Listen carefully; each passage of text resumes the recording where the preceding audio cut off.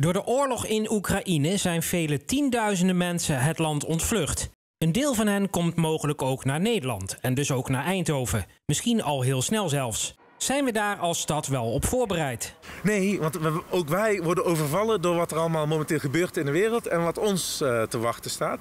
Maar waar ik heel erg veel vertrouwen in heb, want dat merk ik ook wel, want ik heb op Facebook en op Instagram en zo uh, posts geplaatst. Als je kijkt hoeveel hartverwarmende reacties er zijn, dat mensen mij een bericht sturen dat ze plek hebben voor twee, plek hebben voor vier. En dat er een heel netwerk aan mensen is die bereid is om die eerste vluchteling op te vangen.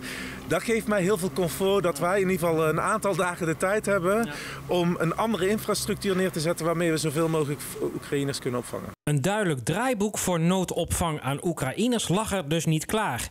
En dus moet er op het laatste moment met veel haast geschakeld worden om de hulp goed te regelen en af te stemmen. We moeten de krachten bundelen met de woningbouwcorporaties om die mensen een dak boven het hoofd te geven. We moeten onze maatschappelijke organisaties zoals wij Eindhoven, maar ook Leger des Heils, Splinkprank-achtige clubs vragen om die mensen op een goede manier op te vangen. Maar tegelijkertijd moeten we ook kijken naar burgerservice nummers uh, voor de veiligheid van die mensen, maar ook zorg. Want er zijn ook gewoon mensen die simpelweg zorg hebben. Dus het is echt wel ja, heel veel werk wat op ons afkomt. De regio is intussen massaal in een hulpstand geschoten. Vliegmaatschappijen bieden gratis vluchten aan, burgers schieten te hulp met kleding en twee Eindhovense corporaties hebben samen 250 woningen beschikbaar gesteld voor noodopvang. Ook de gemeente zoekt nog naar alternatieve opvanglocaties.